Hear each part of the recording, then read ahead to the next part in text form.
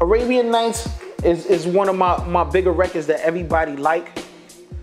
Basically, that's me on the phone with my with my stepbrother, and I'm like, yeah, I want to come up with a theme where it's like, you know, um, Aladdin, but in the ghetto, you know, smoking a but riding through the city on a magic carpet, really explaining what he see.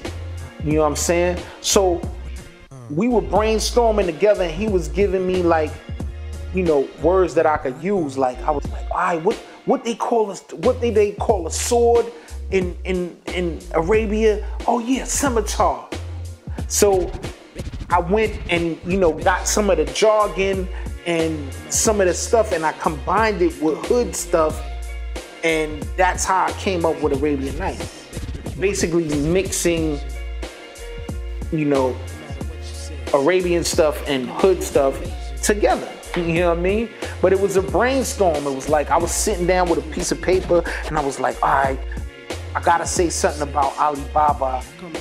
I gotta say something about the 40 Thieves. I gotta say something about a magic carpet. I gotta say something about uh uh um the, the, the genie and the three wishes the three wise men. So I basically went about writing all that stuff on a paper and then I fit it into the rhymes later. Stupid cats and silly sluts. Move makers, straight fakers, and pickpockets. People setting their ways. Too late for them to stop it. Chic with the scar cheek, navigate through city streets. New Jerusalem days.